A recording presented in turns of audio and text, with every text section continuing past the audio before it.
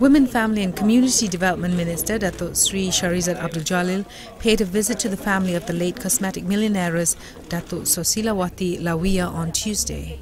The minister was greeted by Sosilawati's four daughters, including the eldest, Ernie Dekri Tawati Yuliana, while her two sons were inside the house.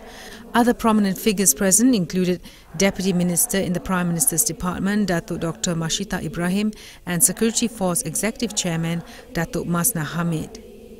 Pertamanya saya bagi pihak wanita UMNO ingin merakamkan uh, ucapan takziah kepada ke ahli keluarga keempat-empat ya Allah Yarhamah dan Allah Yarham di mana daripada apa yang kami baca dalam media telah pun menghadapi satu tragedi yang amat menghayatkan hati ya, seluruh rakyat di Malaysia ni.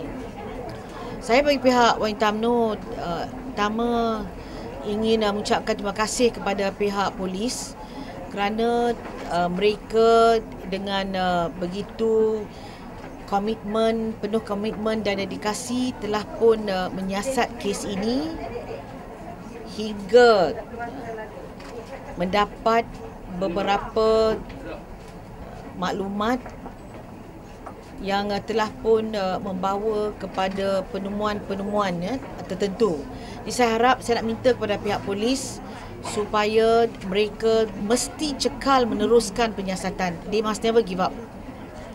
Sesiapa jua yang uh, terbabit di dalam jenayah yang amat kejam ini mesti dihadapkan ke mahkamah dan pangkuan undang-undang. More than 100 guests, family members and relatives were present for prayers.